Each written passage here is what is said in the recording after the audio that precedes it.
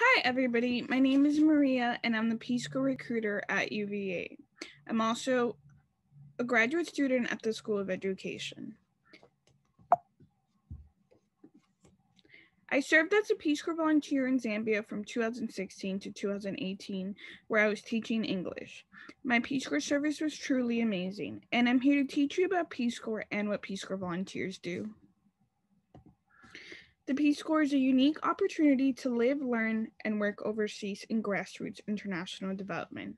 Peace Corps is a federal agency devoted to world peace and friendship through service to others.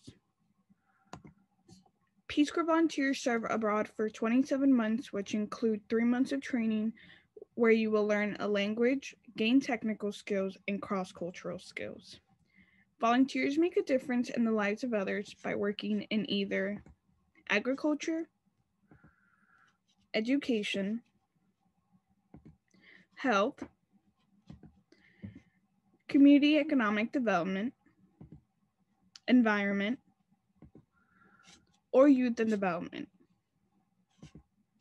Peace Corps has programs in several countries and regions such as Latin America, the Caribbean, Africa and the Middle East, Eastern Europe and Central Asia, the Pacific Islands, and Asia.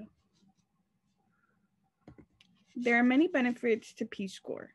During service, you, you will receive a living stipend, housing, medical and dental coverage, student loan deferment, vacation time, and career skills and training. After service, you receive a resettlement allowance, graduate, graduate school benefits, federal employment advantages, and public service loan forgiveness. If you have any questions or you would like to learn more about Peace Corps, please email me at peacecorps at virginia.edu to set up an appointment with me.